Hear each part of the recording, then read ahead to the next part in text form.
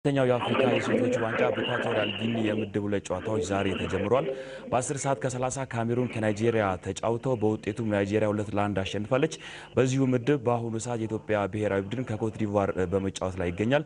በደረሰን ውጤት መሰረት የኢትዮጵያ ብሔራዊ ቡድን ሁለት ለዜሮ በሆነ ውጤት በኮት ዲቫር እየተመራ ነው። ግርማቸው እንዲሁ መስመር ላይ ያለ ግርማቸው እንዲሁ እስቲ ስለ ውጤቱ ስለ እግር ኳሱ ምን እንደሚመስል እንዲነግረን እናነጋግረዋለን። Hello ግርማቸው። Hello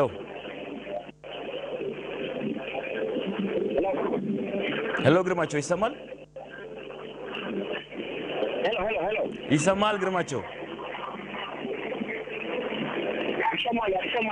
እስቲ የኢትዮጵያ ብሔራዊ ቡድን እንግዲህ በስምንተኛው የአፍሪካ ዋንጫ ላይ ሁለት ለዜሮ በሆነ ውጤት እየተመራ ይገኛል። ጨዋታው ምን ይመስላል እስቲ?